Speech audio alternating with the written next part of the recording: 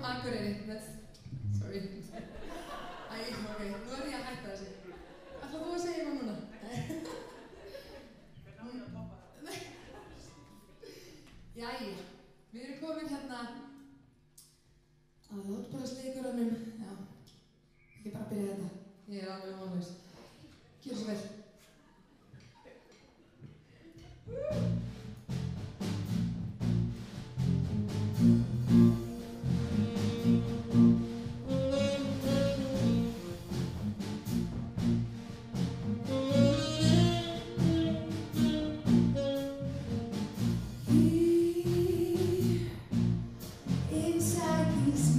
she.